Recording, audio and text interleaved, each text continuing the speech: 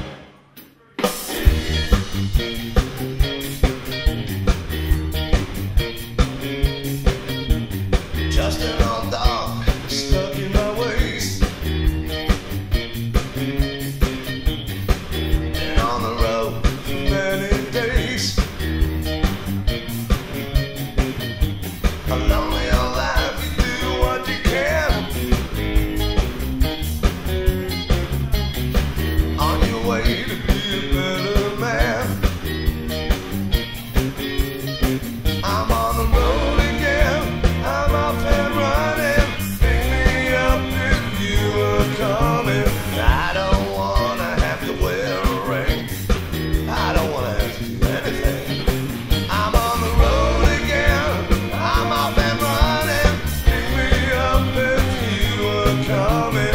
I don't